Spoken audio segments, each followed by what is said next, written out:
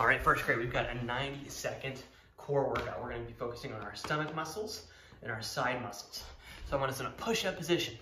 Hold that right there. 10, 9, 8, 7, 6, 5, 4, 3, 2, 1.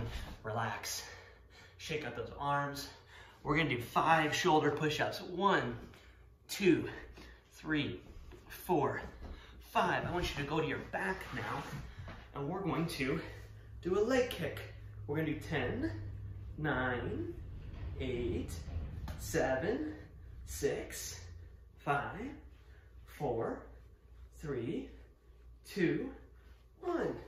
We're gonna go back into our push-up position, right? And you're going to hold that push-up position right there. We're gonna count 10, 9, 8, 7, 6, 5, 4, 3, 2, one. Whoo, shake it out. Shake it out. We're gonna do our, our shoulder push-ups here. Ready? Get set. One, two, three, four, five. Shake it out. We're gonna finish with our leg kicks again. All right, we're gonna do 10 seconds of leg kicks. Here we go, and then you're all done. One, two, three, four, five, six, seven, eight, nine, 10. Great job, first grade.